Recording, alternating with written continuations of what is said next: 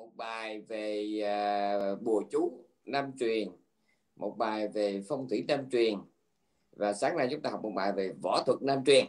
Ừ, đó mình học mấy cái tào lao đó. Ừ. thưa với bà con á là cái nguồn gốc của cái chữ võ thuật á, nó đi ra từ nhiều nguồn. À, mình thấy ờ, ở bên ờ, uh, tàu ấy. Thì mình ở đây tôi chỉ điểm sơ một số uh, chi tiết về chánh sử và giả sử nha. Yeah. về uh, chánh sử thì chúng ta biết rằng uh, là do cái nhu cầu uh, là uh, tự vệ trước uh, là thú dữ uh, rồi trước uh, đạo tặc. Cho nên những cái, cái những cái địa phương yeah, đặc biệt là bên bên tàu á trước cái nhu cầu mình đối phó với thú dữ, với đạo tặc, với kẻ xấu, với giặc giả, vùng biên cương, biên giới. Cho nên có những địa phương người dân họ được ờ, là hướng dẫn ờ, hướng dẫn một số cái gì gọi là ờ, bài tập về thể lực. À, mình gọi là võ thuật á. À, để khi có chuyện thì có thể ứng biến được. Đó là nguồn gốc của võ thuật.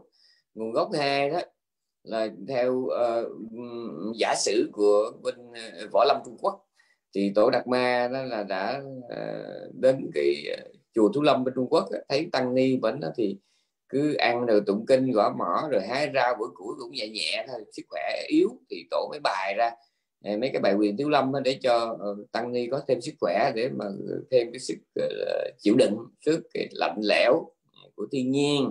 Ừ, đó là nguồn một. Nguồn một là để tự vệ nguồn hai là để bảo vệ sức khỏe. Ừ. Ở bên Việt Nam mình thấy cũng vậy tức là khi nhà Tây Sơn mà uh, lúc khởi binh để mà lập quốc á, thì uh, bắt đầu từ Bình Định. Để bắt đầu từ Bình Định thì rất là nhiều cao nhân về võ nghệ và dĩ nhiên lúc mình phải hiểu là võ tàu với võ miên võ thái thôi họ mới kết hợp những cao nhân đó lại để hướng dẫn cho binh lính nhà Tây Sơn Bình Định ấy, một cái uh, truyền phái một cái võ phái mới mình gọi là võ Bình Định rồi mình cũng biết được đó là ở Việt Nam mình đó, trong quân đội Việt Nam Cộng Hòa đó trước 75 ta cũng có dạy cho lính dạ, dạy cho lính à, cái, uh, một số nơi chứ không phải tất cả dạy võ vô Việt Nam ừ. rồi mình biết là trong cái trường võ bị Đà Lạt á, thì uh, các cái uh, uh, sinh viên và bị uh, khi tốt nghiệp họ cũng đều có tối thiểu đó là cũng là nhất đẳng nhất đẳng taekwondo. Ừ. theo chúng tôi biết là như vậy. Cũng để vì vì vì ba mục đích thôi. Một là tự vệ hai đó là um, rèn luyện sức khỏe. Um, à, ba là trong trường hợp tấn công. Dùng để tấn công đối phương. À, thì tổng cộng là mình thấy um, cái rồi binh tàu vào đời nhà Minh chúng ta biết có một giai đoạn khi mà um, Ờ, chu nguyên chương à, ông à, ông đánh ông là minh thế tổ ông đánh dẹp được nhà nguyên. Thì ông lên ngôi lập nên nhà minh. Thì để đề phòng những cái tình trạng mà gọi là nông dân nổi dậy cho nên là ông cấm đoán tất cả mọi hình thức vũ khí ở trong dân gian. À, và chính vì vậy cho nên là tất cả những người mà có nhu cầu mà về vũ khí ví dụ như dân nhảy võ chẳng hạn thì họ không có được quyền chứa gọi là cung nỏ đao kim đao thương kiếm trượng gươm giáo trong nhà họ không có được quyền. Và trong trường hợp à, mà để tập luyện thể lực hay là trong trường hợp để mà đối phó với ai đó thì không lẽ họ dùng tay không? Cho nên từ chỗ đó cho nên là dưới cái trường nhà Minh ấy buổi đầu á buổi buổi cái buổi sơ kỳ nhà Minh ấy, người nông dân Trung Hoa lại nghĩ ra cái chuyện là họ dùng cái cái cái cây nài mà để mình à, mình mình bó lúa đó. À, tức là hai đầu đó là hai khúc gỗ ngắn cái giữa là sợi dây để mà người ta ừ, cột lúa đó. Người ta mới dùng cái đó để làm thành một thứ vũ khí mà nó nằm ngoài cái cái cái cái, cái, cái chuyện nó nằm ngoài cái gọi là là là là là, là, là tiêu một cấm chế của triều đình. Mà và đó chính là cái điểm xuất phát của cái các loại côn. Dạ, côn nhị khúc, côn tam khúc đó là nó xuất phát từ cái vỏ, từ cái giai đoạn mà dân, người dân nhà Minh ấy, vì bị cấm xài các loại vũ khí truyền thống, cho nên là đang nghĩ ra cái, dùng cái cây mà cây bó lúa đó để làm một côn. Này tôi đánh một vòng để tôi muốn nói cái gì? Tôi muốn nói rằng là nguồn gốc võ thuật cái dầu có bao nhiêu, điểm xuất phát, thì tụ chung lại nó cũng chỉ ba mục đích thôi. Ba mục đích cũng là ba cái nguồn gốc là một là để tự vệ, hai là rèn luyện sức khỏe, ba là để tấn công ai đó. Ừ, tấn công. Chẳng hạn như là võ thuật và để dạy cho lính đó, thì vừa là để rèn luyện cơ thể chịu đựng trước cái nắng gió mưa sương mà đồng thời cũng là tăng thêm khả năng chiến đấu. Ừ, đó là cái khái niệm về nguồn gốc võ thuật. Chúng ta nghe tới đây chúng ta cũng ngạc nhiên không biết tại sao bữa nay ông, ông thuyết pháp bảo lại đem cái vấn đề võ thuật ra ông nói. Thì tôi phải nói rằng nếu ở đây cái vị tinh ý á, hay biết cái đầu hay bé bé một chút á, các vị sẽ thấy rằng nó nếu mình muốn thì cái tinh thần võ thuật nó đã có sẵn trong Phật pháp rồi đó tức là rèn luyện cơ thể rồi tự vệ rồi để tấn công đối phương. Ừ, tinh thần đó nếu mà đem vào trong đạo nó có có nhưng mà cũng có. Ừ. bởi vì chúng ta thấy trong kinh có những cái, khái niệm như là con con vụt mồ rùa mà nó giấu mình trong cái mê chẳng hạn đó là một cách tự vệ. Rồi cái vũ khí mà bén nhất của sa môn chính là cái khả năng kham nhẫn. Trong kinh đã có nói cái đó và ờ, khi mà đức thế tôn nhận cái lời không phải nhận lời mà ngài xác định với ma vương là ba tháng nữa ngài sẽ niết bàn đó thì ngài có nói cái câu kể thế này. Ờ, à, đại ý cái mình bài kể đó là rồi đây ba tháng nữa à, tất cả những gì ừ, thuộc về thế gian này ừ, dầu hữu hình hay là vô hình hữu tâm hay là vô tưởng thì cũng đều được Như Lai bỏ lại hết rũ bỏ tất cả để mà ra đi. À, giống như một người lính mà cởi bỏ cái cái giáp cái, cái, cái, giáp, giáp giáp trụ vậy đó. Ừ. thì hãy còn sống ở trong ừ, trong cái tam giới này đó thì là kẻ ngư phàm á, thì họ có cái kiểu ờ, giáp trụ riêng. Giáp trụ là gì? Có nghĩa là đói ăn khát uống rồi thuốc men chữa bệnh rồi nhà cửa rồi phương tiện đi lại vân vân. Chúng ta phải xài đến vô số phương tiện để chúng ta bảo trì cái thân này giống như một người lính mà giữ mạng ngoài chiến trường vậy đó. Còn đối với một bậc thánh thì sao? Hãy còn có thân này là phải còn cương mang cái gánh nặng giống như người lính ngoài chiến trường để còn có cái ờ, mặt ở ngoài chiến trường là còn phải đeo mang khiên vác đủ thứ. Một vị a la hán không còn gì để làm nhưng mà còn cái mạng. À, ví dụ nhất là đó là vị a la hán mang thân người thì còn phải tắm rửa xỉa răng đánh răng vệ sinh phòng ốc. Còn phải đắp y mang bát còn phải đi tới đi lui còn phải nói năng còn phải tiếp xúc đối với cái người như mình á thì mình thấy sống sao vui thôi. Một ngày đúng ra mình khổ hết hai chục tiếng đồng hồ rồi mình chỉ vui khoảng ba bốn tiếng thôi. Mà đối với mình đó là một sự hấp dẫn lắm rồi. Nhưng mà riêng đối với bậc thánh đó, thì không có cái giây phút nào mà thân thân tâm này nó không bị khổ cả cả ngày thấy nó là như vậy. Thấy cái gì vô thường thì đó, nó là khổ. Cái mọi thứ ở đời đều là giả. Mà hãy giả đó là khổ mà cái gì khổ nó cũng đều là giả. Đối với các ngày giả và khổ nó là một không? cho nên hãy còn mang cái thân này có nghĩa là còn phải chiến đấu với bao thứ để mà tồn tại. À, dầu cái ý nghĩa chiến đấu ấy, ở người phàm hay bậc thánh thì có một điểm khác biệt rất là lớn. Ờ, mình chiến đấu để mà mình được tồn tại, còn cả các ngài thì các ngài phải gồng mình, phải mang vác cái áo bào này nè để chờ cái ngày giả biệt chiến trường, vĩnh biệt vì chiến trường, giả từ vũ khí, nha. Cho nên cái khái niệm mà võ thuật cái à, khái niệm mà quân sự binh bị chiến trường đó, cái khái niệm đó à, nó không phải chỉ riêng trong cái võ thuật mà nó nó còn bàn bạc ở khắp mọi lĩnh vực của đời sống. Đó là lý do tại sao người, người ta mới có cái câu là thương trường như chiến trường. Này tức là trong đời sống này nó là một cái cuộc đua đó là một cái cuộc chiến nó là một cái chợ. Đã nói là chợ thì đó là chỗ bán và mua có khi lỗ khi lời. Và tôi đã nói rất là nhiều lần thế giới này là everything for sale nhưng mà chưa chắc là on sale nhớ nha cái câu này phải nhớ người phật tử phải nhớ cái câu thần chú này phải xâm lên người. Mọi thứ ở đời đều là for sale hết nhưng mà có on sale hay không chưa chắc. Đó là một chuyện. Thứ hai nữa đó, đồ on sale là đồ xài không có được. Thường đó, đồ đồ mà hạ giá đó không là coi chừng nó có có vấn đề. Đây. đó là nói về đời là thương trường. Đời là chiến trường á là bởi vì là chúng ta còn nhớ cái câu của người châu phi họ nói mỗi sáng con sư tử ừ, phải chạy để đi kiếm mồi. Và mỗi sáng con nai nó phải chạy để nó không làm mồi cho con sư tử.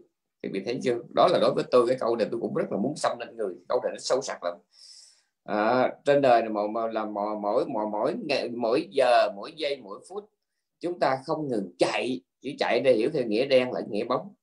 Đứa thì chạy để mà kiếm sống. Một đứa chạy để mà không bị đứa khác ăn hiếp vậy thì rõ ràng là cái thế giới này nó là một cuộc chơi rất là khốc liệt. Nó là một cái võ đài nó là một cái chiến trường. Một điều nữa mà tôi muốn nói về võ thuật. Chúng ta biết hãy nói tới võ thuật có, có hai chuyện mà chúng ta không thể là không biết. Thứ nhất à, là những cái bài quyền ấy là hãy học võ bất cứ cái môn phái trường phái nào đều có, có, có mấy bài quyền. Mà mấy bài quyền nó xài chưa được sao đó người ta phải phân miếng người ta phải phân thế mới xài được. Cho nên võ nó có hai tất cả võ thuật nó đều có hai trường hợp một là võ biểu diễn và hai là võ thực chiến ừ. võ biểu diễn có nghĩa là múa cho nó đẹp thôi ừ. còn võ thực chiến thực chiến có nghĩa là cái võ mà đem áp dụng ở ngoài đời sống thực tế được ừ.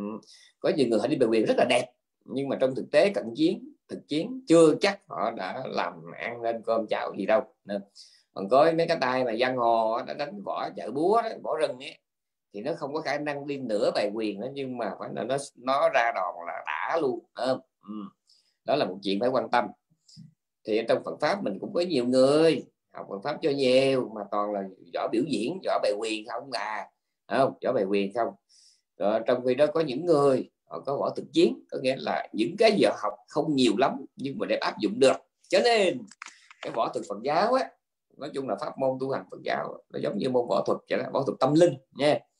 À, thì cái người học đạo gồm có bốn trường hợp. Một là đi bài quyền đẹp nhưng mà thực chiến dở. Ừ, đi múa rất là đẹp đi bài quyền rất là đẹp nhưng mà thực chiến ờ, đấm đá thực tế rất là tệ. Rồi có những người đó là thực chiến rất là giỏi nhưng mà biểu diễn rất là tệ. À, có nghĩa là bản thân họ nhận rất tốt giới rất tốt thiền rất tốt. Nhưng mà phát biểu nói năng eh, ờ, hoặc ngay cả cái quê nghi tế hạnh nhiều khi nó cũng không, không khá lắm. Nên cái người này được gọi là thực chiến rất giỏi. Nhưng mà uh, cái, cái, cái, cái, cái, cái biểu diễn rất là dở. Ừ. hạng thứ nhất á, tôi nhắc lại hạng thứ nhất là biểu diễn rất đẹp nhưng mà thực chiến rất là tệ. Hạng thứ hai thực chiến rất giỏi nhưng mà cái biểu diễn rất là, là tệ hoặc là không có luôn hạng thứ ba thực chiến giỏi biểu diễn cũng đẹp. Và hạng thứ tư cả hai đều là không. Nên thì trong trong trong kinh đức phật thầy dạy rằng có những cái vị đệ tử của ngài đó à, tuy không có phải là tinh thông giáo lập pháp nhưng mà lại là những người rất giỏi thực chiến. Có nghĩa là chỉ nắm vững một bài kệ bốn câu thôi hiểu tới nơi hành tới chốn. Và nhờ đó có những thành tựu đạo nghiệp xuất sắc rốt ráo triệt để. Không? Đó là những người đệ tử tự là giỏi thực chiến mà gọi là là là không có giỏi về biểu diễn. Ngược lại cũng có những tỷ kheo ừ, tăng ni cư sĩ rất giỏi biểu diễn nhưng mà ừ, không giỏi về thực chiến có nghĩa là tinh thông kinh điển. Nhưng mà để biểu diễn này để nói năng nghe nó đã thôi chứ còn trong thực, thực, thực tế đó thực tế hành trì thì rất là kém. Không có khả năng chịu đựng thị phi không có khả năng chịu đựng được những nỗi khổ niềm đau không có khả năng chịu được uh, những cái thiếu thốn về vật chất những cái gọi là bức xúc về tinh thần một cơn giận một nỗi sợ ờ, một niềm âu lo đều có thể làm cho vị này khổ tâm. Ừ. Ờ, khổ tâm khổ thân. Ừ. Như vậy những người như vậy được gọi là giỏi về biểu diễn nhưng mà không có giỏi về thực chiến. Và đoạn thứ ba là xuất sắc rồi. Giỏi thực chiến mà cũng giỏi biểu diễn nè. Cái đó là à, cho nên đó là đây là hai chuyện mà chúng ta phải nói về võ thuật chuyện thứ ba chúng ta phải nói là có thực một tôi chỉ nói về cái ý thân lát tôi với bạn chung. Đó là tất cả những ai là con nhà võ học võ đều phải biết những chuyện rất là căn bản sau đây. Con người trừ ra tàn tật không trừ ra tàn tật. Thì con người trung bình thường mình đó, thì ai cũng giống nhau ở cái chỗ là có hai tay hai chân. Tuy nhiên do cái cơ địa bẩm sinh do cái uh, hoàn cảnh sống điều kiện sinh hoạt. Mà có người thuận tay phải có người thuận tay trái. Ví dụ như chúng ta biết đứa bé đó mà nó bị được được được cái người người lớn bồng người lớn thuận tay nào thì cái thuận của người lớn là cái tay thuận người lớn rất có thể ảnh hưởng đến đứa bé. Khi mà họ thuận cái tay nào họ bồng nó thì khi họ bồng đứa bé các vị tưởng tượng các vị biết tôi nói cái bị cái đấy không? Khi họ bồng đứa bé là có một tay, đứa bé nó được thoải mái và một tay nó bị kẹt bên trong. Chính cái tay đó là tay không thuận của đứa bé. Còn cái tay nào mình bên ngoài đó, nó cà quơ cà quơ, chính là tay thuận. Và nếu mà người người lớn mà thuận tay phải thì đứa bé nó sẽ thuận cái tay nào. Và nếu mà người lớn mà thuận tay trái thì họ sẽ nhốt cái tay còn lại của đứa bé. Có hiểu tôi nói không ta? Tức là tùy vào cái thuận tay nào của cái, cái tùy vào cái cánh tay thuận của người bồng mà đứa bé nó sẽ có một cái cánh tay thuận tương ứng.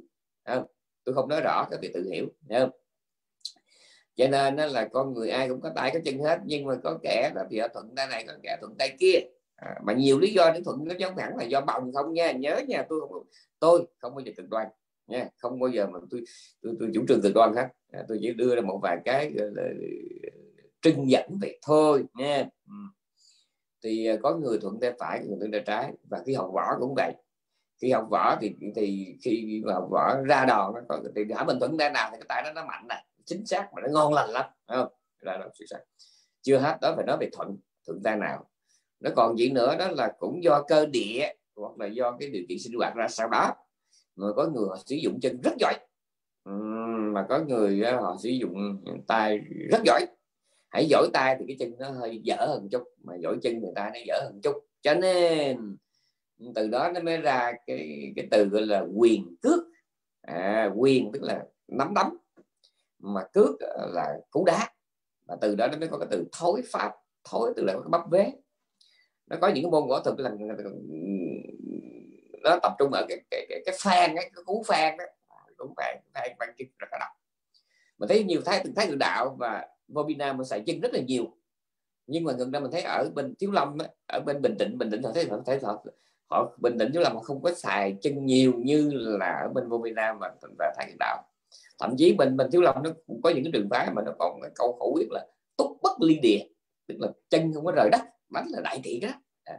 nhưng mà mình thấy vô Việt Nam thái đạo thì nó thoải mái cái ba nó nhảy nó kẹp nó bẻ thoải mái Nên, cho nên tùy thuộc vào cái trường cái võ phái tùy thuộc vào cái cơ địa của mỗi người. Mà người ta xài cái tay phải nhiều hay là tay trái nhiều, xài chân nhiều hay là xài tay nhiều, trong đạo mình y chang như vậy. Tùy vào cái cơ, căn cơ, cái khuynh hướng của chúng sinh.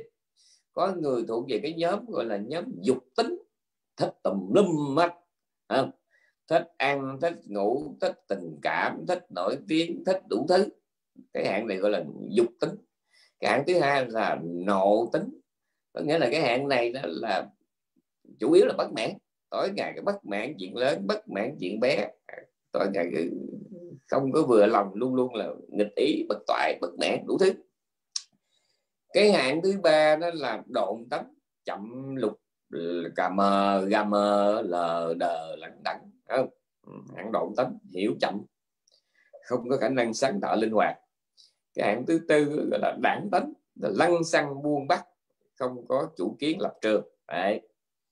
cái hạng thứ năm á, là mộ tánh tức là đụng đâu trên đó không? tốt số bất phân cứ phải là tin thôi ừ.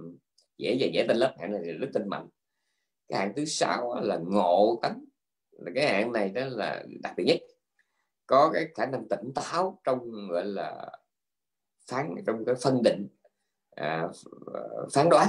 Nè có khả năng à, bình tĩnh sáng suốt ở trong diện phân định phán đoán.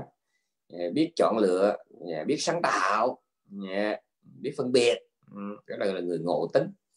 Thì tùy thuộc vào à, cái căn cơ cái sở tánh của mỗi người mà khi tu tập ấy khi mà học đạo cái chọn lựa của mỗi người cũng không giống nhau.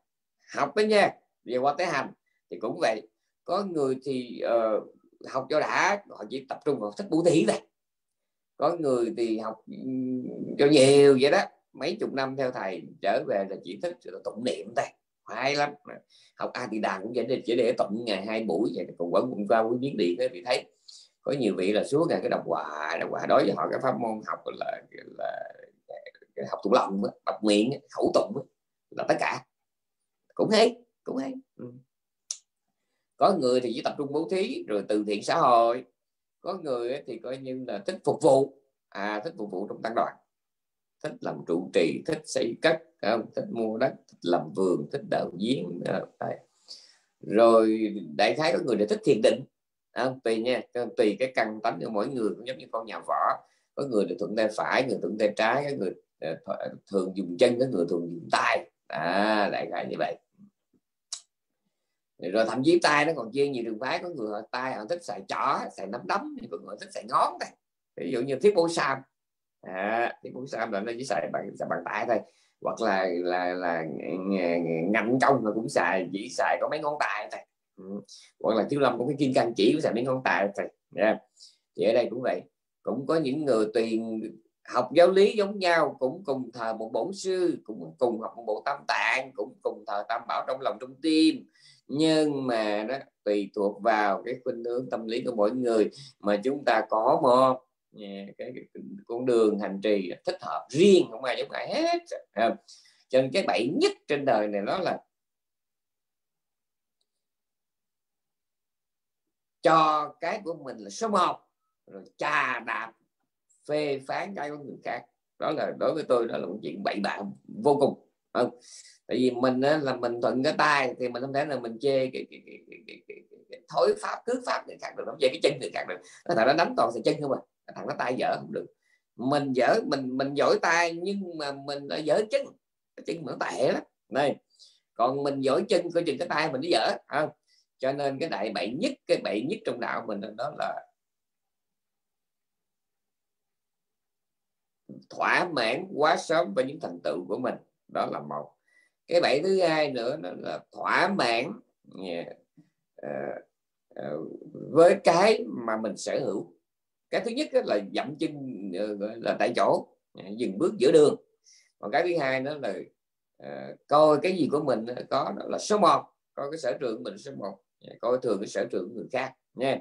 Bởi vì chúng ta biết rồi ừ, khi mà Phật ra đời đó là Phật phải đi Phật tế độ vô lượng chúng sinh Phật thường sử dụng vô lượng phương tiện à, chỉ cách nhau có 3 phút nhưng mà nói với người này thì ngày trình bày con đường giải thoát hơi khác một chút. 3 phút sau ngày trình bày của con đường giải thoát hơi khác một chút. Và đôi khi mình nghe giống như không liên quan với nhau nhưng mà cái quan trọng nhất là gì? Là cái cách hướng dẫn nào của Thế Tôn cũng dẫn về cái đại dương giải thoát. Mà đã nói đại dương thì chỉ có một vị mặn thôi nhớ nha. Ừ. Nhưng mà trên đường đi đến biển lớn thì chúng ta à, vốn dĩ à, xuất phát từ nhiều cái nhánh sông nhiều con suối nhiều con rạch nhiều con kênh khác nhau nha. Đứa thì từ cao nguyên đổ đổ ra biển đứa thì từ đồng bằng đứa từ núi cao đứa từ rừng sâu không? Và trong tất cả những chỉ biệt đó chúng ta có cùng một hướng về đó là đại dương giải thoát. Ở đó chỉ còn một vị mạng thôi nha. Thì à, cái tinh thần võ thuật à, như hôm đó tôi nói võ thuật hiểu nghèo nè nó nghĩa là cái là cái kỹ thuật đánh đấm hiểu dễ nghèo lắm. Trong khi nếu chúng ta đọc kỹ về võ thuật ấy chúng ta sẽ thấy rằng đó là à, tinh thần võ thuật à, tinh thần võ thuật mà ở một cái cái tầm cao nào đó nó, nó cũng là một thứ triết lý. Ví dụ như mình thấy tàu nó có cái tinh thần thượng võ họ đề cao tinh thần thượng võ. Nhật bổn thì có cái tinh thần là là võ sĩ đạo. À, có nghĩa là ở một mức độ nào đó thì cái cái cái võ thuật nó không phải là cái kỹ thuật đánh đấm nữa mà nó là một cái triết lý sống một triết lý nhân sinh. À, có nghĩa là bên à, ngạn ngữ Latin có một câu thế này à, không thể có một tâm hồn một tinh thần minh mẫn trong một thể xác bệ rạc à, thì đó cũng là một phần một phần của tinh thần võ thuật. Có võ thuật có võ nghệ đó chuyện đầu tiên chúng ta có sức khỏe trước cái này về thể xác dẻo dai và có cơ bắp có sức chịu đựng tốt. Thứ hai về mặt tinh thần. Chúng ta sẽ dạng dĩ tự tin. Thoải mái. À, nó lạ lắm. Không phải là mình học ba mớ rồi mình trở thành vô địch võ lâm không phải nhưng mà ngộ lắm. Khi mà um, có chút đỉnh khả năng tự vệ đó mình đi đâu thấy bao đi trong chỗ vắng đi trong bóng đêm gọi là đi giữa cái chỗ lạ xa lạ đó chúng ta cũng thấy dạng hơn người không có gì nha. Đó. cho nên thứ nhất ờ, cái lễ võ, võ thuật đó là là, là rèn luyện sức khỏe. Thứ hai đó là cái tinh thần là tự tin. Dạ. Thứ ba là chúng ta dễ so với cái người bình thường chúng ta dễ có cái tinh thần là hào hiệp trưởng nghĩa.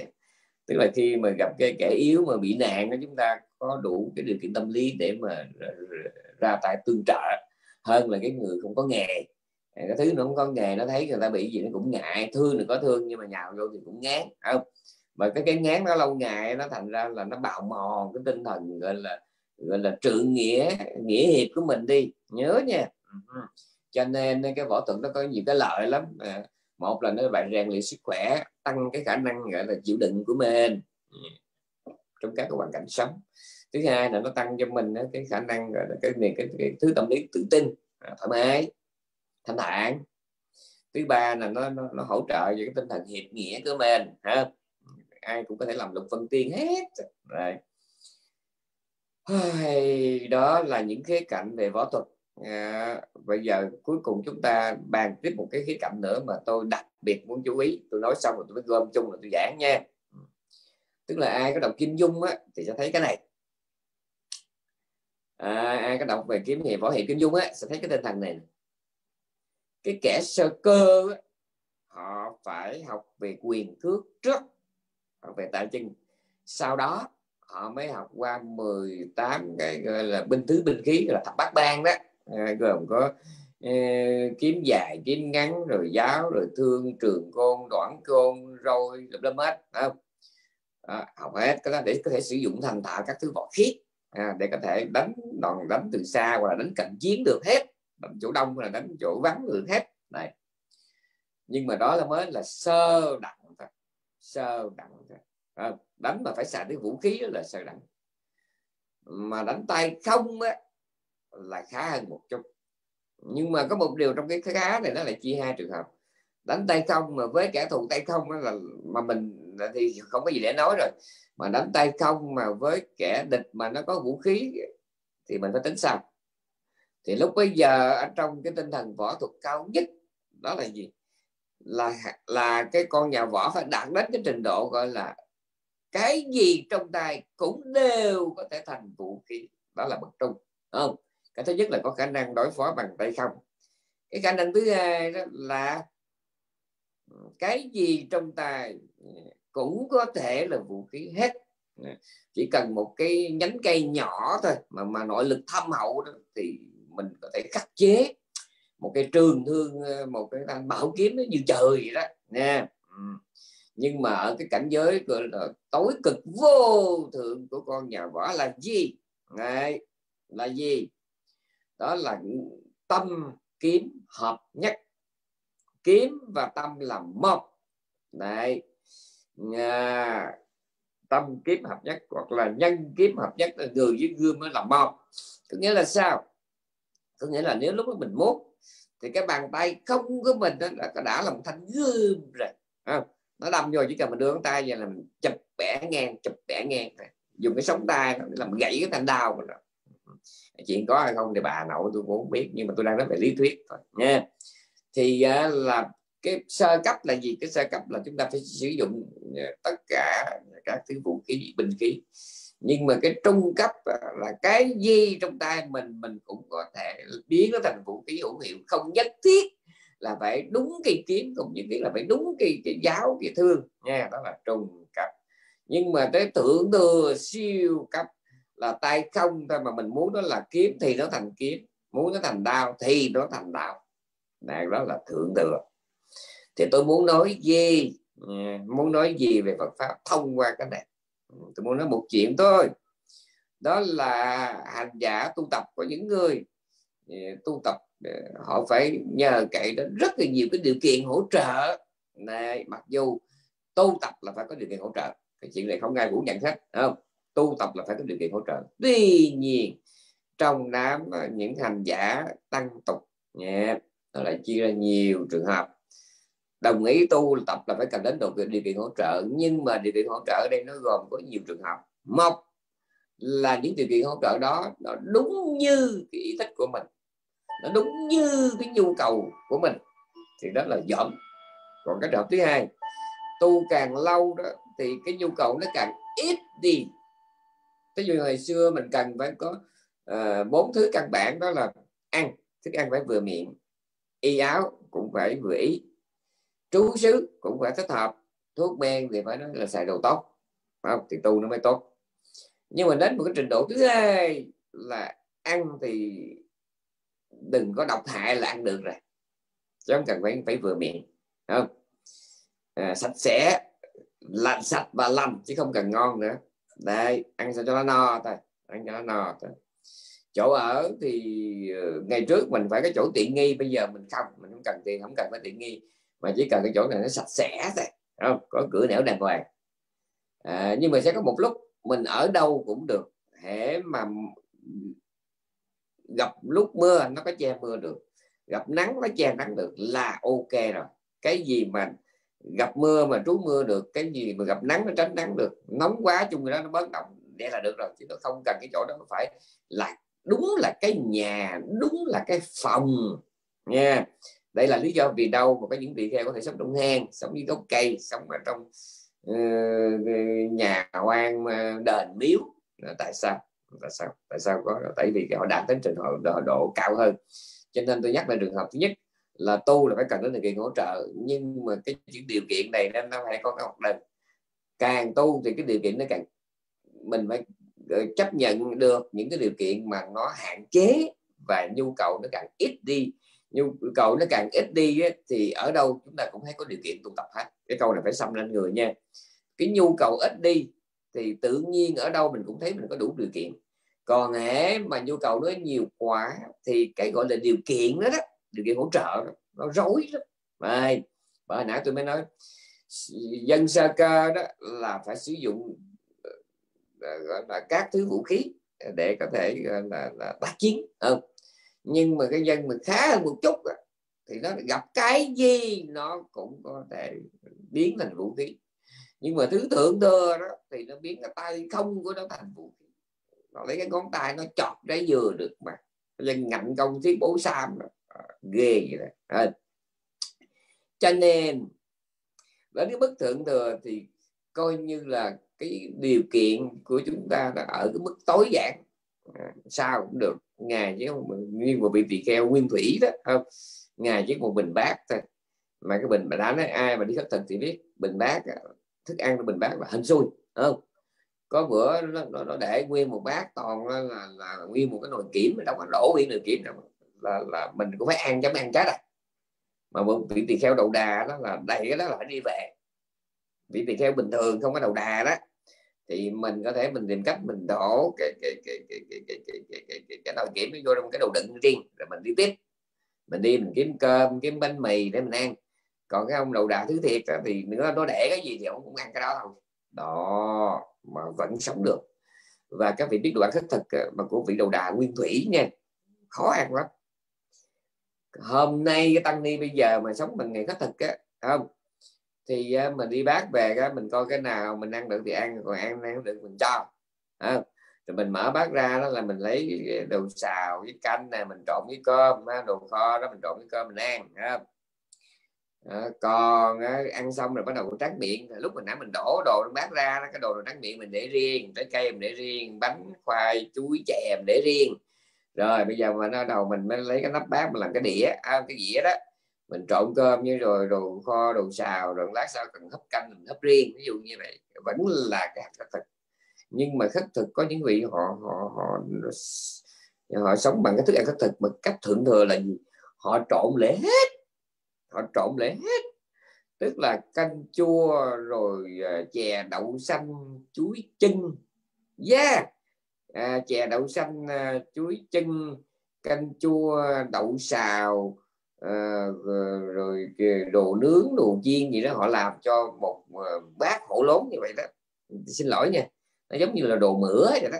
Nó phải như giống như đồ mửa mới được lúc đó họ ăn á, là đúng là ăn để nuôi thân đó chứ không còn để cầu cái cái khẩu vị nữa.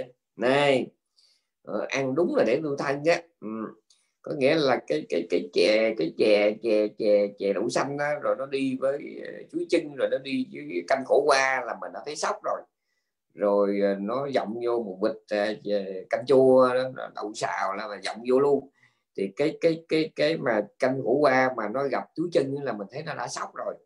Rồi nó thêm cái miếng canh chua bún xào vô nữa thì nhìn nó đã lắm không? Mà vì nó vẫn ăn được. Khi mà vị nó nuốt được cái đó buổi đầu thì cũng khó lắm nhưng mà nếu mà nuốt được thì sẽ có một ngày đó là ba cái đồ mà là khó ăn nhất trong cái cõi dân gian này bị đó ăn được hết ăn được hết. À, thì cái đó được gọi là lên đấy là bậc thượng thừa đó lúc đó bây giờ gọi là tâm kiếm hợp nhất. Đấy có nghĩa là là người và kiếm là một. Nó có nghĩa là hoàn cảnh nào nó không phải là điều kiện mà mình nghĩ nó là điều kiện thì đương nhiên nó sẽ là cái điều kiện đấy. Ừ, một cái máy hiên ừ, một cái cái chòi vịt à, một cái chòi xăng giữa rừng của thời của ai đó. Miễn là trống vắng là vị tỳ kheo vị hành giả có thể nhào vào đó để mà qua đêm được. Xuất sắc như vậy. Đấy.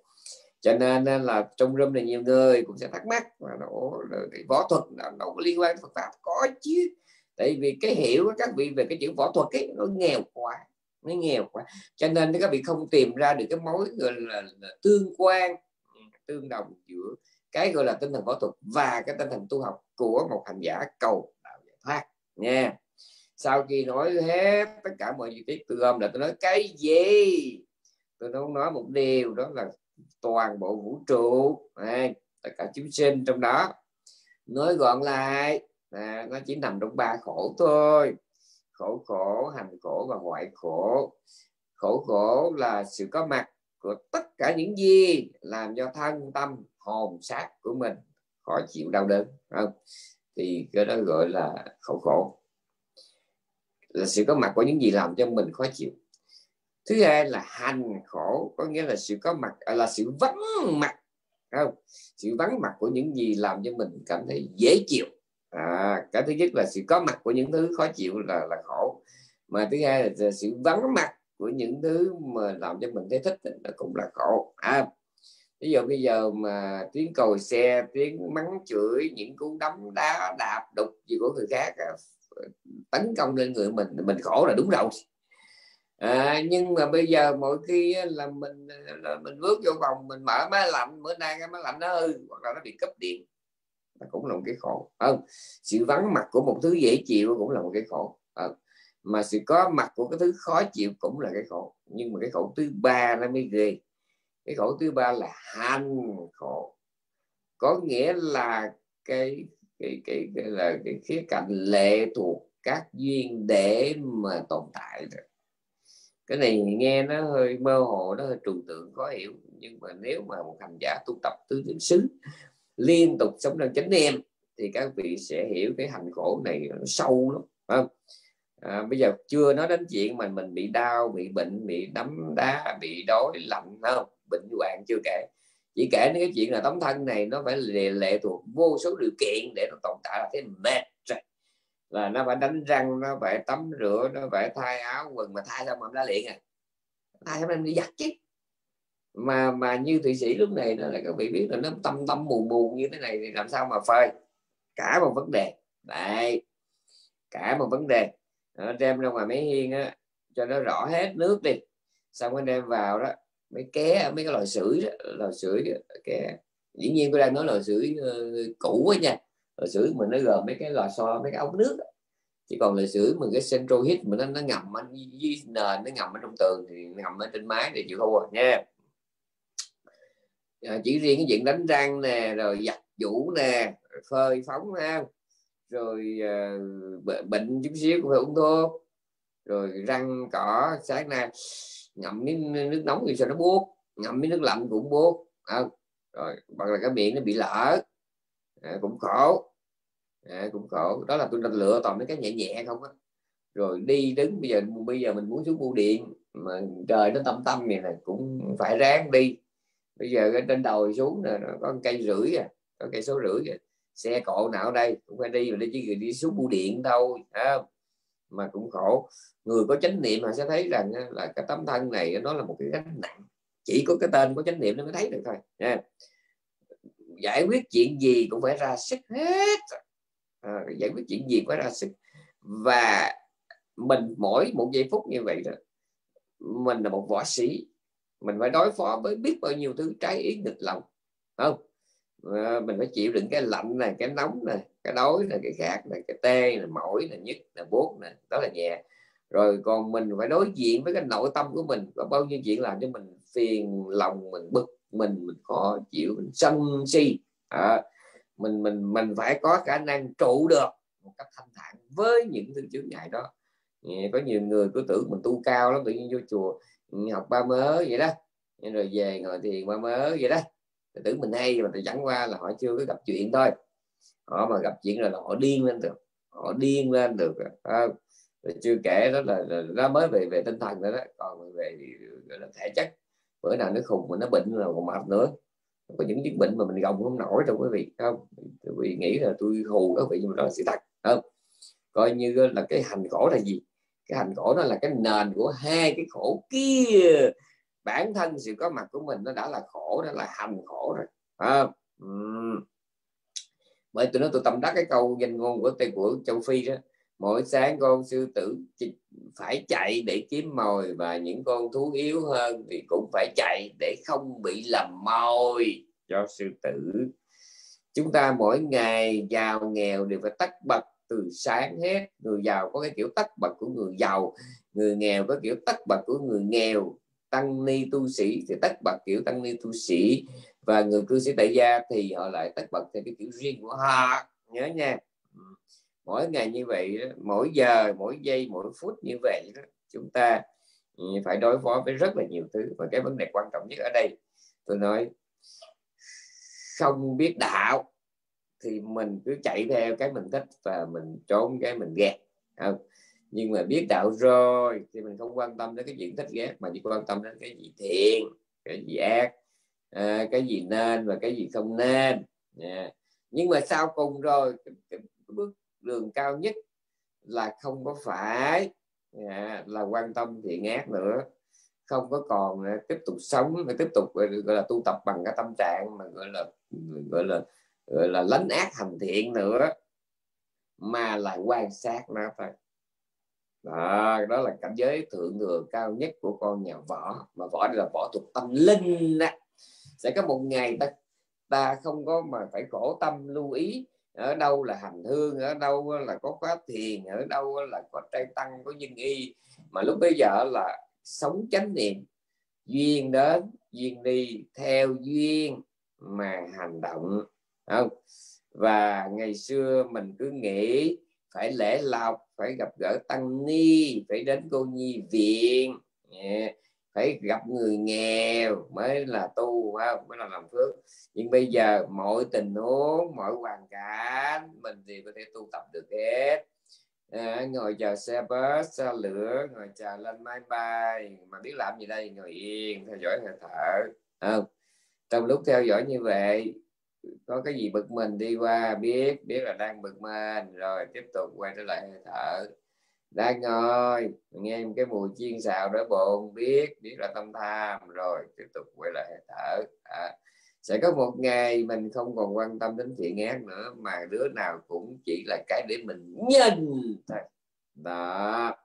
Rồi khi mà cái gì mình cũng chỉ để nhìn thôi thì sẽ có một ngày mình nhận ra một chuyện rất là đặc biệt đó là mọi thứ do duyên mà có rồi có rồi, phải mất đi. Đủ chưa? Chưa còn nữa. Cứ tiếp tục tiếp tục tiếp tục quan sát cái đứa này đến, đứa kia đi. Sẽ có một ngày mình nhận ra hai cái chuyện rất là quan trọng. Cái cái gì mà nó là sự ham, thích, không? Thì đó là tập đế. Thích trong cái gì cũng là tập đế ngoài cái tập đế ra, cái gì cũng là khổ đế. Còn cái, và cái khả năng nhận thức đó chính là đạo đế. Còn diệt đế không nói tới. Vì sao? Vì khi chứng thánh mình mới mới thấy được niết bàn. Mà niết bàn chính là diệt đế. Nhớ nha. Còn ngay bây giờ ừ, thì cứ nhớ một câu thần chú thôi. Cái thích nằm ở đâu thì tập đế, nguyên nhân khổ nằm ở đó ngoài cái thích ra, mọi thứ đều là khổ đế hết. Cứ luôn luôn tâm niệm như vậy nha. Khi mà quan sát hơi thở ra và quan sát tâm thiện, tâm xấu của mình, thì cứ nhớ bao nhiêu đó ờ, cái gì thích là cái đó là nguyên nhân khổ. Ngoài cái đó ra, mọi thứ đều là khổ. Giống như trong một cái trái thanh long, mình cắt nó ra thì cái phần ruột thanh long nó có hai phần cái phần cơm trắng và cái phần hột đen. Thì cái phần cơm trắng nó là khổ đế và cái phần hột đen là tập đế. Cái tập với cái khổ nó trộn chung. Mình gọi là cái ruột thanh long phải không? Nhưng mà đâu nói cái cơm trắng riêng cái hột đen riêng. À, nhớ cái đó. Ở đây cũng vậy đời sống này gọi đó là khổ. Nhưng mà trong bản thân cái đời sống trong từng giây phút thì ngát buồn vui ấy của chúng ta nha. Thì cái gì mà nó là tha má nó là thích thú thì cái đó là tập đế, là nguyên nhân sanh khổ. Ngoài nó ra, tất cả đều là khổ đế, từ mặt trăng, mặt trời, đại dương, núi non, phố xá, làng mạc, con người, động vật, tất cả, nha. Tất cả đều là khổ đế hết. Và trong nguyên cái khối khổ đế đó hãy còn bóng dáng của tâm tham, tâm thích trong vòng một giây đồng hồ hoặc một phần triệu của giây đồng hồ, thì đó chính là nguyên nhân sinh khổ, nha. Nhớ cái đó. Tức là sẽ có một ngày Ờ, chúng ta sẽ quay lại chúng ta thấy đời sống của mình nó, nó có ba giai đoạn. Giai đoạn một là trốn khổ tìm vui theo cái thích là chạy trốn cái ghét. Giai đoạn hai là làm lành lắm dữ. Giai đoạn ba là chỉ nhìn thôi. Nhìn cái thiện nó đến nó đi. Nhìn cái ác nó đến nó đi. Lúc bấy giờ thì cái thiện nó cũng là cái cơ hội để mình tu tập tuệ quán. Và cái bất thiện nó cũng là cái cơ hội tu tập tuệ quán ngồi ăn cơm cũng tu thiền đắc đạo được đi cầu ngồi rặn đỏ mặt cũng là tu tập tuệ quán cũng có thể đắc đạo trong lúc đi cầu được. Nhớ nha trong trung bộ kinh trường bộ kinh bài kinh đại niệm xứ ghi rõ như vậy đó nha. Ừ, Thì lúc bây giờ hành giả đã là một gọi là cao thủ ở mức tối thượng tâm kiếm hợp nhất. Có nghĩa là bàn tay của hành giả lúc bây giờ đã là gươm rồi. À, rồi trước đây phải đúng là thanh kiếm phải đúng là cái thương cái giáo thì mình mới xài được mới tấn công mới, mới tự vệ được. Còn bây giờ thì không tay không thôi. Trước đây là phải cái gương cái giáo sau đó mình khá hơn chút. Cái quạt cái quạt thôi. Đôi đũa là cái bàn toán có thể đánh được. Nhưng mà đến tới mức thượng thừa thì sao? Không cần gì hết. Chỉ cần tay không thôi đấy tay không thôi ừ. ở đây hành giả cũng vậy buổi đầu là phải nhờ đến vô số điều kiện hỗ trợ phải có minh sư thiện hữu, phải có ờ, chỗ ở thích hợp, thực phẩm thích hợp, thời tiết thích hợp ờ, tư thế ngồi thích hợp, thiền viện thích hợp ờ, tôi lắm hết nhưng mà sẽ có một ngày hành giả chánh niệm mà nó đến cái mức độ mà gọi là thường trực ấy. thì trong cái giây phút khó chịu biết rất rõ mình đang bị khó chịu, có thể tu được trong lúc khó chịu nha yeah yeah. đang dễ chịu vẫn có thể chánh niệm được. À, đây cái sự lạc thọ hỷ thọ đang có mặt.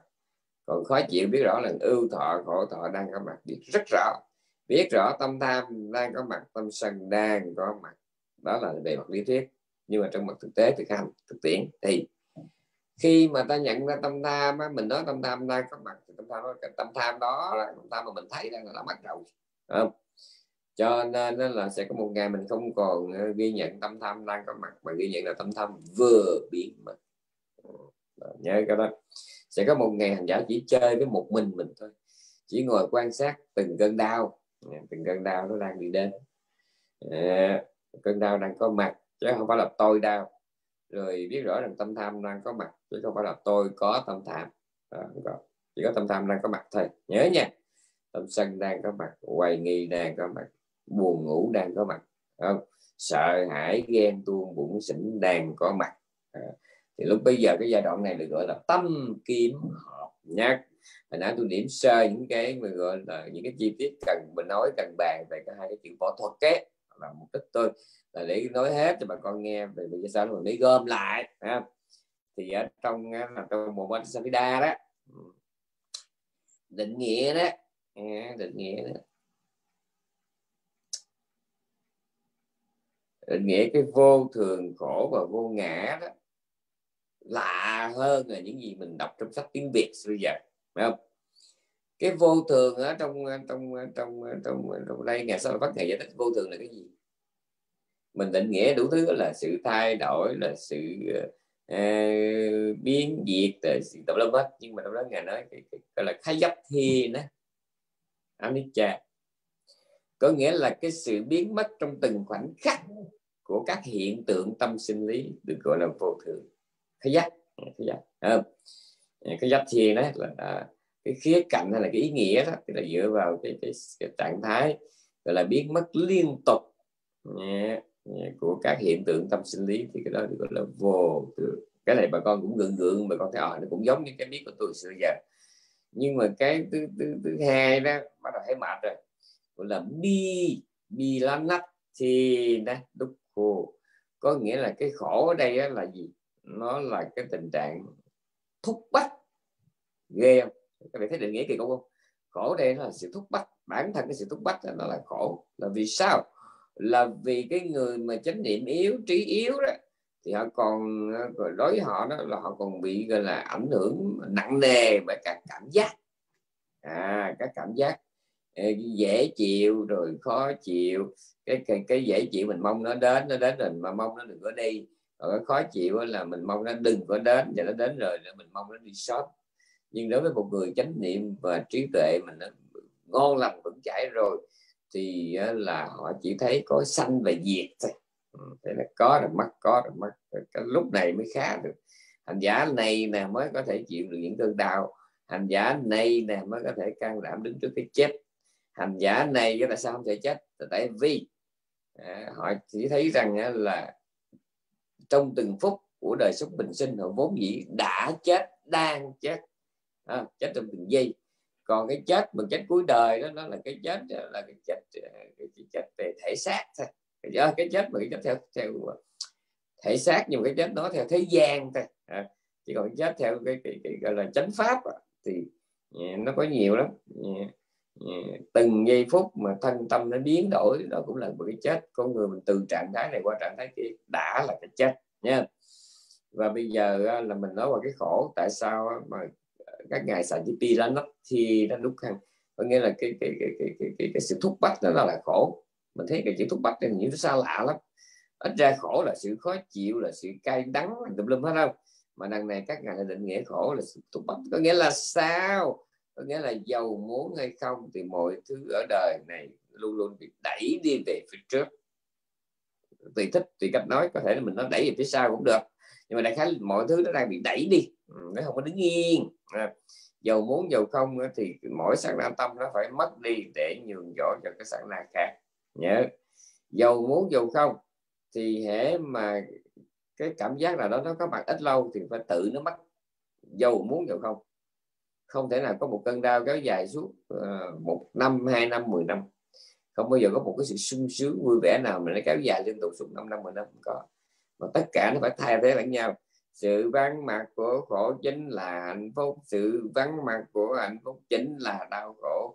Sự có mặt của cái này nó quy định cái sự có mặt của cái kia mà sự có mặt của cái kia nó quy định sự có mặt của cái này à, dầu muốn dầu không thì cái dòng đời nó vẫn tuôn chảy nó trôi đi như vậy đó miên viễn và bất tuyệt. Này thì cái cái cái cái tình trạng mà bị đẩy đi đó à, cảm giác dễ chịu không thể trụ như vậy hoài mà nó phải biến mất nó nhường chỗ cho cái cảm giác khó chịu. Khó chịu nó phải đi thì cái dễ chịu nó mới tới mà cứ như vậy suốt phút đều qua phút khác tháng ngày này qua tháng khác tuần này qua tuần khác tháng này qua tháng khác nha. Thì cái ý nghĩa thứ hai này được gọi là bi lá nắp thì lúc khác cái khổ là do sự thúc bắt mọi thứ luôn luôn bị đẩy về phía trước. Rồi. Cái thứ ba là asarathi đó anatta có nghĩa là không có cốt lõi. Được gọi là vô ngã. Không có cốt lõi là sao? Có nghĩa là ai cũng tưởng lầm trên đời này có kim cương. Ai cũng tưởng lầm trên đời này có núi non có đại dương.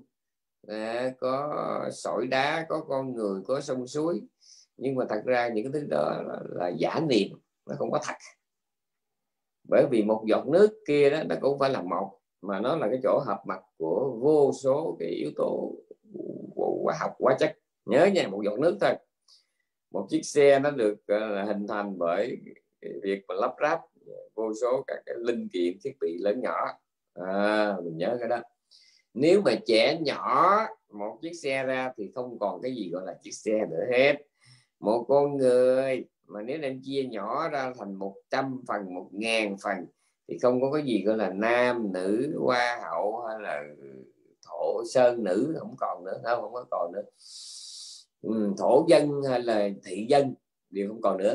Nha tất cả là, là, là chỉ là đồ ráp thôi. Là assa đó thì nó là không có cốt lõi nghĩa là nó trong kinh nó giống như là cái cây chuối vậy đó. Mình lột từng bè bè bè lột riết không còn gì hết. Không. Mà để nguyên thì thấy nó gọi là cây chuối hoặc là mục măng ở đây ai mà bà nào nội trợ mà nấu ăn mà xài măng tươi có lẽ hiểu tôi nói mà măng tre là một bắp chuối là hai à, các vị cứ lột đi lột lột hoài lột cuối cùng còn gì vậy thì cái thân tâm này mình nói mình đó là là Nguyễn Văn Nga Nguyễn Văn B mình nói mình là bác sĩ kỹ sư mình nói mình đó là người trí thức mình là đại gia mình có tiền mình có uy tín có tiếng tâm có quyền lực lập lập lập lập lập ta nhưng mà nếu mà trẻ nhỏ mình ra mình không còn cái gì hết. Không còn. Tất cả đều là đồ rác. Và cái này mới là nản nè. Một niềm vui đang phơi phới. Không. Vợ mình mới vừa sang được cái nhà hàng. Còn mình mình mới mua được chiếc xe thể thao rất là vĩ. Con mình, hai đứa là bữa nay nó tốt nghiệp đại học. Không. Vậy thì mình thấy cũng là quá sung sướng rồi. Không. Nhưng mà mình quên một chuyện đó là là là nếu mà bây giờ mọi thứ mà đem trẻ nhỏ nó ra đó thì một chỉ cần có một chút à, một chút trở ngại nho nhỏ thôi thì cái niềm vui nó mất liền. Mình thấy chào đã quá niềm vui nó hay bên đây tôi trúng số này vợ tôi sang được nhà hàng nay con tôi nó ra trường tốt nghiệp thấy hạnh phúc lắm. Nhưng mà cái hạnh phúc đó, đó mình gọi chung đó là hạnh phúc. Đó là viết ra chữ hạnh phúc. À, nhưng mà cái hạnh phúc đó nó được được tác động bởi được, được tác động và được ghép nối bởi vô số các thành tố vô số điều kiện. Chỉ cần có một chuyện nhỏ thôi à, là con mình nó tốt nghiệp nhưng mà thằng con trai đó là nó đã bị nghiện rồi. Đứa con gái đó là nó đã có bầu tháng thứ, thứ tháng thứ hai rồi. Chỉ cần một chuyện đó là mình thấy hết vui. Bà xã mình vừa sang được cái tiệm nail của sang được cái nhà hàng với cái giá hời mở một cái khu trung tâm. Không nhưng mà bà bị bác sĩ nghi ngờ bà bị một chứng, chứng ung thư nghi thôi. Và bản thân mình đó là bữa nay mình đo đường đường lên quá cao cao lắm. Coi như bữa nay mình vượt ngưỡng rồi mình không còn là tiếp một nữa mình lên tới tiếp hai rồi. Nhóm nhóm nhóm nhóm nhóm à, không có còn nhóm hai nữa mình lên tới nhóm một rồi. Nha. Rồi. Thì, thì chỉ cần một chút xíu như vậy thì có như nguyên cái lâu đài mà hạnh phúc sập liền nó giống lâu đài cát vậy đó. nó không có cốt lõi. Nó không có cốt lõi. Những cái mình tưởng là gia đình gia đạo lên bên nhưng mà nó là cát thôi. Nó dễ bị sập là thủy triều lên sụp hết. Thì cái cái, cái, cái, cái tình trạng đó được phần gọi là asa đó thì nó là không có cốt lõi. Đấy mà tại sao tôi đang giảng về võ thuật? Mà tôi lại quẹo qua cái này. Tôi muốn nói rằng à, tôi muốn nhấn mạnh cái cảnh khổ đó cái là Bilanothian đó có nghĩa là chúng ta luôn luôn là sống ở trong cái tình trạng đấu tranh liên tục để có thể tồn tại. Và chúng ta làm những hạt cát mà. Ừ, hạt cát. Chúng ta phải nắm chặt như vậy cái ông thời nó nó sẽ bị trôi nó tụ qua các kẻ tay cái mình nắm hoài thế này. Ừ, cơ thể mình phải vận động liên tục tâm lý phải, phải liên tục vận động thì mình mới có thể tồn tại chứ còn nếu mà mình cả ngày mình ngủ không thì cuộc đời mình tàn là đúng không? Mình là khô ma rồi phải không? Mình bị bị hôn mê sâu rồi mình phải thức thức là phải suy nghĩ cái này suy nghĩ cái kia. Buồn vui thiện ác còn cái thân này phải tắm rửa. Này thân là phải tắm rửa phải vệ sinh phải đi đứng nằm ngồi nói cười. Lúc thì dễ chịu lúc khó chịu. Ờ, nguyên một cái mối hổ lốn đó nó làm nên cái gọi là đời sống của chúng ta. Đó à, mà chúng ta đó là muốn trụ được trong đời sống này thì chúng ta sống giữa cái dòng chảy của bao nhiêu thứ lụy phiền đó. Chúng ta phải có cách gượng lại chứ. Cái gượng đó tôi gọi là võ thuật tâm linh. Tức là bị sâu đẩy giữa biết bao nhiêu thứ kẻ thù không? giữa bao nhiêu thứ trái nghịch lòng mà mình muốn trụ lại nó là mình phải giữ sức khỏe nè để cho mình đừng lạnh nè đừng đói nè đừng bị đau nhức tê buốt nè. Rồi tiếng đời thị phi các vị thấy bây giờ các vị nói với tôi các vị nói bạn bè tốt tôi can khuyên can. Lúc đụng chuyện mới thấy không có một đứa bạn nào hết. Không có tin được ai xung quanh mình nó thiệt ra nó là rốt ráo nó người thù không mà. Không? Cái vị biết cái cái người mà hỗ trợ Calama đó, nhiều lắm. Tính đến hôm nay đó là phải là gần 4.000 người. Nhưng mà trong số đó theo những gì tôi nhận xét đó, là 3 phần tư. Nếu bây giờ mà đổi ý cho họ để ý. Hỏi ý kiến họ, có muốn giúp Calama hay không? Họ sẽ lắc đầu. Theo tôi nhận xét như vậy. Dạ. Đời mà thù lúc nào cũng nhiều hơn bạn. Lạ lắm. Họ đầu họ hứng là làm vậy thôi. Thị phi gì đó mình không biết. Nhưng mà đó, ba hơn, khoảng hơn ba phần tư là nếu mà họ có thể mà rút lại được không? rồi làm cho Calama sụm bà chè, không có kiến tạo, họ làm liền. Không? Và có, gọi là 9 phần 10 những người nghe chúng tôi giảng, khi nghe chúng tôi lăn ra chết, thì 9 phần 10 là vui hơn là buồn, chỉ có một phần 10 là nó vui, là nó buồn thôi. Ừ. đó là cái đời, nha. Mình phải tin như vậy, phải luôn luôn tâm niệm như vậy để mà mình sống đời, nha. Chứ còn mình đừng có ngồi đó mà làm thơ, đừng có ngồi đó mà dệt mộng đây là chồng tôi, đây là vợ tôi, đây là cha tôi, đây là mẹ tôi, đây là con là cháu, là anh em, học trò, đệ tử, sư phụ, sư thúc, sư á dẹp mỗi một đối tượng nó có kiểu vô thường riêng. Ví dụ như cha mẹ thì họ vô thường kiểu khác. Cái tình cảm của họ đó mình vô thường bằng kiểu nào? Là vô thường bằng cách là sức khỏe của họ. Không? Sức khỏe của họ còn họ còn khỏe họ còn đi đứng họ còn nói năng họ còn nhớ được này nhớ được kia thì cái tình đó nó còn. Còn bữa nào mà họ cho họ nằm ở hôn mê họ bị lú lẫn à, hoặc là họ chết đi rồi là xong. Đó là kiểu vô một cái kiểu vô thường. Hoặc là lòng người trở mặt bạn bè của mình. Dạ, tôi đã biết rất là nhiều trường hợp con cái mà trở mặt với bố mẹ tức là cái thở nào đó, nó coi mình là cái máy rút tiền đó, cái máy ATM nó rút được thì nó rút một ngày kia nó rút không được nữa. Cũng là cái cớ để mà nó xa mình. Hoặc là khi nó có bạn trai bạn gái thì nó, cái tình cảm của nó đối với cha mẹ cũng pha nhạt và đó cũng là một kiểu nó xa mình. Nó nhiều lắm quý vị rồi do công ăn việc làm rồi nó phải đi đi xa rồi xa mặt phải cách lòng hồi xưa thì tháng nào cũng về rồi sau đó hai ba tháng về một lần rồi từ từ từ nó về một cách rất là gượng gạo và cuối cùng là nó không còn muốn gượng nữa. Có đó có. Nha. Chưa kể là mình bị gọi là vào nhà già hoặc bị lú lẫn nói bậy làm bạ rồi mình không nhận ra nó nữa rồi coi như hết phim. Đó, rồi còn nhà cửa xe cộ từ cái đồng hồ mắt kính dây nịch cà vạt nón uh, sơ mi quần dài tất cả tôi nguyên nguyên cái con người mình lột trần nó ra cái gì nó cũng sẵn sàng bỏ mình nó đi hết. Tôi không có tin cái gì hết nha.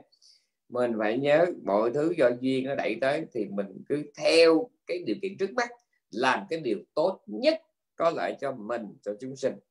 Khi mà cái duyên nó đi thì coi như hết điều kiện nó hết thì thôi mình chờ một cái duyên khác tới nha. Chứ còn mà mình mình trong đợi đợi mình nắm níu thì thua. Cho nên tôi mới nói tôi cố ý tôi đem cái đề tài võ thực ra tôi nói với cái ý gì? Tôi muốn nói rằng thế giới này nó là một cái võ đài nó là một cái chiến trường. Chúng ta phải uh, là ngoan cường chiến đấu gồng mình để mà sống để mà trụ lại với bao thứ phong ba bảo táp cái vấn đề lớn ở đây đó là càng tu thì cái nhu cầu càng ít. À mà khi nhu cầu nó càng ít thì ở đâu mình cũng thấy có đủ điều kiện để tu. Đây là cái câu thần chú nha. Càng tu tập đó, thì cái nhu cầu càng ít mà nhu cầu càng ít thì ở đâu mình cũng có đủ điều kiện ha. Người ta nói cái kẻ giàu nhất không phải là người cái gì cũng có mà kẻ giàu nhất chính là cái người có cái gì cũng sống vui được. Thì cái đó mới là người giàu nhất. Hồi xưa tôi đọc cái câu đó tôi thấy làm như ừ, gượng cái câu làm như nó hơi gượng nhưng mà ở tuổi này tôi già rồi không tôi già, tôi đã nói nhiều lần. Tôi nói tôi già, cái người ta nói tôi 50 không có già, tôi nói không có phải đâu. Cái 50 của người này nó khác 50 của người kia. Cái 50 của tôi là tôi biết, tôi không có lâu nữa đâu. Thì ở cái tuổi già này là tôi mới nhận ra một điều đúng như câu danh ngôn của Mỹ đó. Cái người giàu nhất không phải là cái người, cái gì cũng có, mà là cái người có được cái gì cũng sống vui được hết. Này à, mình có ờ, một cái villa 20 tỷ đô la có nguyên một dàn xe Rolls Royce rồi Lamborghini Ferrari rồi trực thăng riêng rồi có du thuyền riêng có bãi tắm riêng. Nhưng mà bây giờ mình đi leo núi mình có đem được mấy nó theo không? Không. Mình chỉ đem được có cái ba lô không không. Còn nếu mình muốn đem đủ thứ là mình phải thuê người mang vác khuân khiên lên mà như vậy thì còn gì là chạy núi nữa không? Thì đã đi chơi núi mà dắt theo một đám bầu đoàn thê tử còn gì vui mình cần một chỗ yên tĩnh một mình mình thì mình phải làm sao? Mình phải đi một mình. Chứ còn nếu mà đi đâu mà cũng phải sắp theo một đống tiện nghi như vậy đó với tôi đó là một thứ tụ đầy các bạn biết không? Đối với tôi á đó là một thứ tụ đầy. Vì sao? Vì mình lệ thuộc.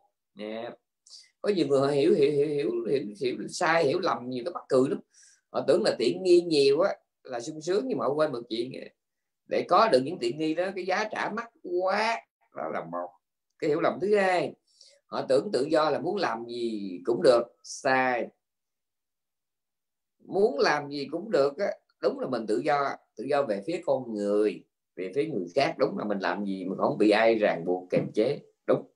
Nhưng mà lúc bây giờ mình lại coi chừng mình mình mình, mình lại là nô lệ cho cái ý thích bất thiện của mình. Lại là một kiểu tù đầy khác nha. Tôi nhắc lại muốn gì làm gì cũng được à, nó có hai nghĩa. Nghĩa thứ nhất đó là sự thanh thản tự tại còn nghĩa thứ hai là lúc đó mình đang bị tù đài bị giam nhốt bị điều khiển bị tác động bởi cái lòng ham muốn bất thiện của mình. Đây cho nên là tôi mới nhắc lại câu thường chú thì nãy.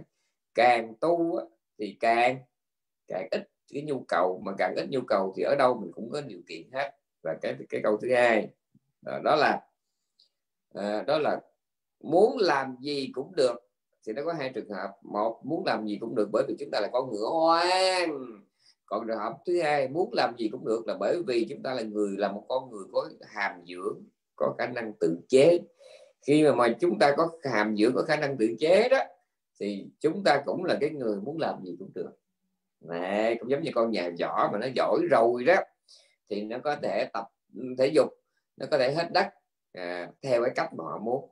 Mình bình thường đó mình hết đất bằng hai cái làm bằng tay nhưng mà dân nhà võ nó hết đất chỉ bằng hai ngón tay cái thôi hai ngón tay cái thôi cho nó cần nguyên bàn. Mà giỏi nữa đó thì nó chỉ cần hai cái ngón trỏ thôi nó chống hẳn rõ nó hết đất được. Đó. và dân giỏi nữa đó thì nó lấy một tay á, mà để sau lưng á. rồi nó mới dùng một tay này nè để nó hết đất và giỏi nữa đó thì nó có thể dùng một ngón này để nó trồng chuối được kìa. Nha. Nhưng mà đó là thượng thừa thì nguyên cái bài giảng này của tôi tôi không nghĩ là là mỗi ngày mỗi bài giảng tôi phải nói đúng rồi đủ một tiếng rưỡi đâu nha. Cái quan trọng là tôi nói hết những điều mà tôi cảm thấy là cần nói và quý vị nên nghe. Ok à, chúc các vị một ngày vui và hẹn lại bà con um, thứ hai tuần sau. Dạ. Yeah. xin cảm ơn sư dạ yeah dạ con à, kính chào sư dạ yeah. yeah. à